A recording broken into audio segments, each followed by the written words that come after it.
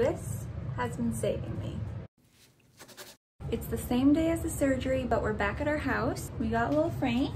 He enjoyed his time with grandma. So far, I'm still numb down there. I don't know when that's gonna wear off. Although my clitoris does hurt and it's hurt like from the beginning, just if my underwear or like the pad rub on it in a certain way or touch it pretty much at all. And I think that's just because he did remove the keratin pearls and detach my clitoral hood and maybe didn't numb it with the same stuff. So, so far nothing really hurts, hurts that bad except when I pee and that is why this peri bottle has been saving me. I've peed twice since the surgery and it burns and I really don't want to pee because it burns but Luckily, it only burns while I'm peeing and not after because I've had that before. That is no fun.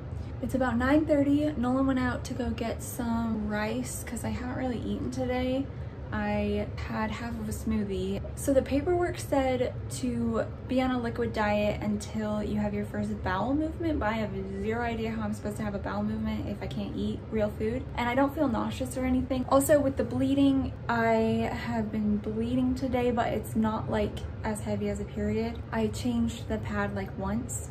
Anyway, gonna take a bath tonight. I'm gonna take one of the sleeping pills before I go to bed and probably some Tylenol because I really, really, really, really, really don't want to take the Percocet. But I'll keep you updated this week as to whether I take it or not and how the pain is going. Well, this is my view. Not sure how much longer, probably this week. Last night, I ended up taking an Ambien and I took one of the oxycodone, think that's how you say it, just because I was worried that if I didn't, then I would sleep terribly and the pain would be bad. Honestly, it wasn't too bad to sleep. The most irritating part is my clitoris, like I've said before, but hopefully that will heal fast. And then this morning at 7.30, I took a bath and then I went back to sleep. And then I took, did I take a second bath? I don't know. It's like noon right now. So I've been taking that citrate, what's it called? Hold on. All of my medicines are like way up here, so I can't really reach them. But I've been taking that drink that you take when you're gonna have a colonoscopy, just like I've taken probably like three sips of it. Today I'm just switching off between Motrin and Tylenol. So I'm actually not supposed to use the Tylenol acetaminophen, how do you say that? The dual action ty Tylenol, I'm not supposed to be using that Gosh, I can't talk. So they gave me like a whole plan for staying on top of pain without using the oxycodone, which I would prefer to do. But honestly, it hasn't really been that painful. Just like a little bit of like heat and pulsing, I guess you could say. So I tried the ice pack yesterday and I hated it because it wasn't like soft as well as the pads that I bought compared to the hospitals. The hospitals were like really soft and malleable and mine were just stiff and like kind of cuts into the stitches and whatnot. I took the pad out and I've just been wearing underwear with one of these, the cooling wipes. They call them pad liners, but they're pretty much wipes. And I put that in my underwear and that feels way better than an ice pack. They said the first couple days like are probably going to be fine and then it'll get worse. So I'll keep you posted on whether it gets worse. Right now we're doing good. So I just woke up from a nap to a call from Dr. Goldstein. He has called me probably like four times since the surgery just to check in. Yeah, everything still feels pretty numb, honestly. I told him except for my clitoral area, and he was like, oh yeah, we didn't numb that, so that makes sense. He said that they took out like 12 of the keratin pearls, and now it's all good and clean down there. He also said that pain will probably kick in in the next couple days, so we'll see how that goes. But as of right now, I am just doing the Tylenol and ibuprofen switch off type dealio. Also, my throat's kind of sore. I don't know why. Hello. It is Sunday, and all I know is that the days are blurring in together. If I sit here and I'm still, then nothing hurts. But if I move, and it does hurt. And I don't know why those lights are flashing, honestly. Sorry, that's really annoying. So the most painful part is still my clitoris and it's like the skin in between your butt and your vagina. It's really swollen and that hurts a lot. Um, not like a lot, a lot. I don't know. I feel like, okay, light, stop flickering. My goodness. I feel like the pain's really not that bad. I feel like I have a pretty large pain tolerance, but you know, I'm also not overdoing anything. I'm literally just sitting here. We'll see in the coming days. It's only been like two days. So far, so good.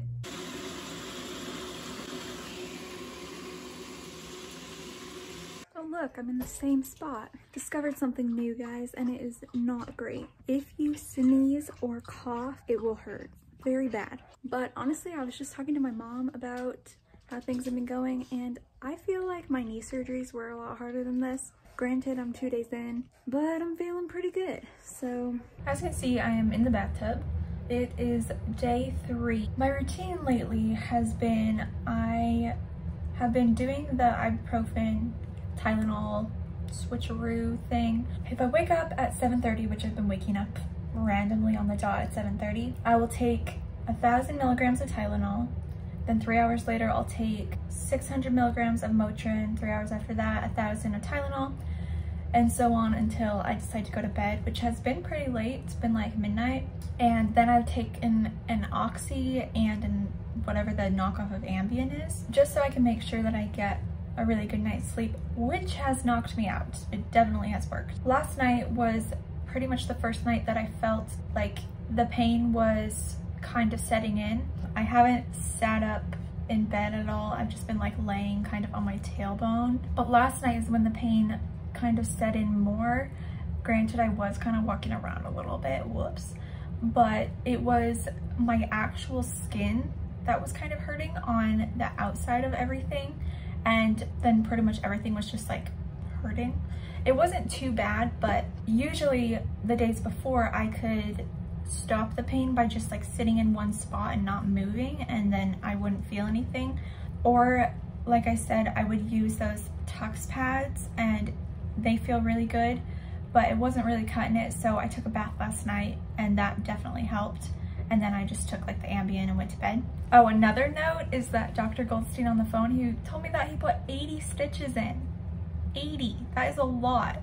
So anyway, my mom came over and I was like, do you want to see? And she was like, no, not really. I think it's fascinating. I've been trying to look down there, but I just see like a big blob of skin and like a little later, I'll show you how I've been hobbling around. I have been trying to walk normal, but like when I walk normally, I put my legs like a lot together, if that makes sense, and I guess kind of squeeze them together, and that's a no-go.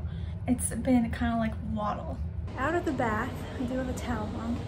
Um, forgot to tell you guys that, oh, it's probably loud out here. Forgot to tell you guys that Hank just wants to go outside. You can go out for a minute, okay? Forgot to tell you guys that I really only used the peri bottle for like the first couple of days. I was like paranoid that it would keep burning, but it did not, so that was good. Also, there was one more thing I was gonna tell you. Let me go put some clothes on and then I will show you how I waddle. Look how much of this I've drank. Pretty much half of it and I still have not pooped. But that's not totally foreign to me. I usually have a hard time going to the bathroom. I would also really recommend oversized underwear because I have like my little tiny ones that like barely cover your butt. I do not like them. And I used the full like wipe ones, so now I just have these ones, but I'll take like three and line them so that it's covering like everything and I'll kind of like shove it in the crack because I want this medication to get in there cool.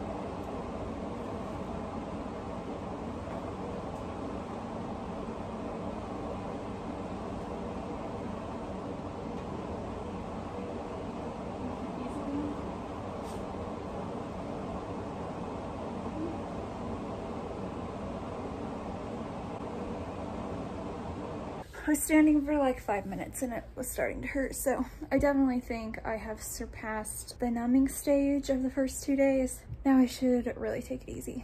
I've been putting the medicine that I need to take down here. Whoops. So I need to take Tylenol because I last took Motrin.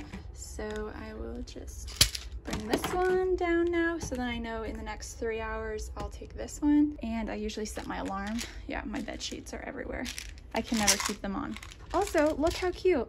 This has been by my bedside. A cute subscriber sent this to me, just like telling me good luck on my surgery. So cute. It just makes me so grateful that I actually decided to post these videos because I just want other people to be aware and to get help. If you're watching this, I hope you're doing a little bit better and keep me updated. We've just been messaging through Instagram and anyone, seriously, I'm totally fine if anyone does that because even if we don't have like the same thing, like I'm here for you and I totally understand what it's like to have pain for years and not have answers. I just thought that was really nice, so I put it by my bed. Inkling, why are you barking? No, no one's there. He's being my guard dog. Thank you. Good job, guard dog. In the bath again. All I can say is I'm very grateful for Ambien. Like I told you, I slept till like noon today and it's almost five. I feel like I'm honestly just like waiting for the days to go by. But the one thing that has really helped me is having a project. I pre-filmed some videos so that I could edit them and man, if I did not have those to do, I have no idea what I would be doing. So I would definitely recommend having like homework, some type of project that's not like, you know, super strenuous on your body. If you need a show to watch, let me give you some suggestions. There is Panic, I think it's on Hulu or Amazon Prime. Um, I just barely watched Clickbait, that was really good. It was like a mini series. Another mini series is The Queen's Gambit, if you haven't watched that. It's kind of slow, but we're watching Dexter right now, but I don't really like shows that go on for like a bajillion seasons because they get boring. Oh, Normal People. I love Normal People. That was a really good one, but also kind of slow. I definitely know that I'm gonna have to find a show though in the next week because it's literally been three days and I'm already real bored. And as I said, the pain's getting worse, so I can't really like walk around or do a lot of stuff. Hopefully Nolan has come up with a dinner idea because I still have not pooped and I know it's because I haven't eaten like that substantially. I had like a peach and some graham crackers today. I think that Dr. G is gonna call a little later and maybe give us some more suggestions on how to get my bowels going. I know, really beautiful things that I'm putting here on the internet. Last night was the worst of the nights.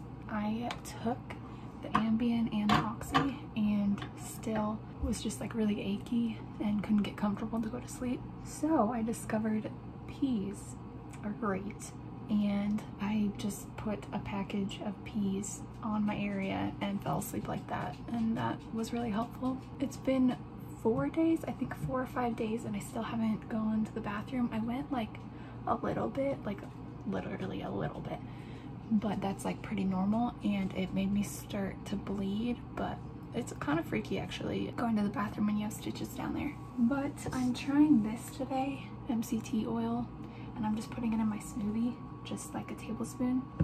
And hopefully it doesn't destroy me. New tip. If you need to cough or sneeze just hold your crotch because it makes it a million times better.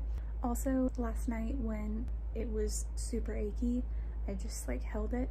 And honestly it helped a lot. Back in the bath, it's Wednesday, so it's almost been one week since the operation, I guess two days shy.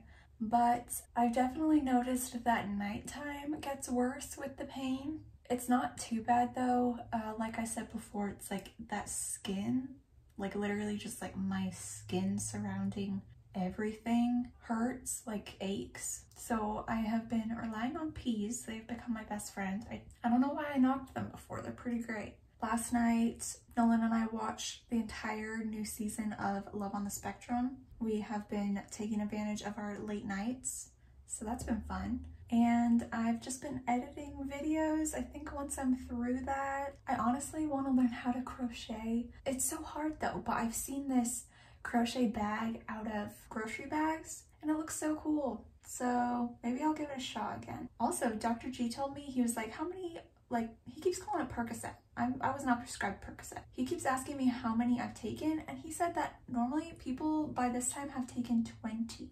That is crazy. Okay, I'm getting a call from someone. Gotta go. Bye. That was my aunt. She's bringing us lunch. I'll keep you updated if anything else happens or if I find any other solutions. Oh, oh, oh, oh wait. I tried the Dermaplast and I hated it. It literally like got into little crevices and made it itchy. I'm pretty sure it's supposed to do the opposite.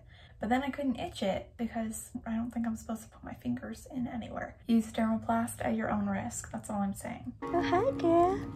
Hi, girl. So cute. Oh, hi there. Hi there. Oh, hi there. Hi there. She keeps flipping her head back when I stop petting her. And there's little Hank.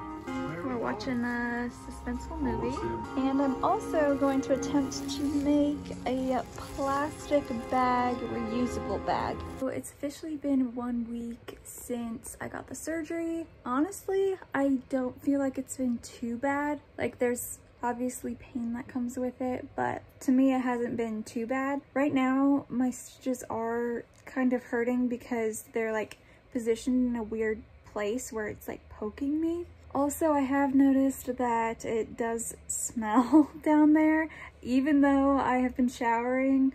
Um, I had another person tell me that that just happens when it's healing. I don't know why. Out of this past week, I feel like I've only had like three nights that I haven't slept very well. And one of them was last night, but honestly, it wasn't because I was in pain or anything. My brain was just like really hyper and I couldn't turn it off. Also, we're babysitting another dog and so both the dogs were sleeping like right next to me. So I don't know if that's why I couldn't sleep. Um, I hope that this week in the life video was helpful to anyone that is getting the surgery just to know what to expect. It was probably boring to a lot of people that aren't getting it, but maybe it was interesting. I don't know. Anyway, I just appreciate all of you who have watched and I will continue to keep you posted with how recovery goes, especially when I start physical therapy, which a lot of people don't know you can actually do physical therapy for the muscles down there. I'll have to do that so that they can like learn to relax and stretch back out and whatnot. Thank you for watching again and I will talk to you guys later. Bye.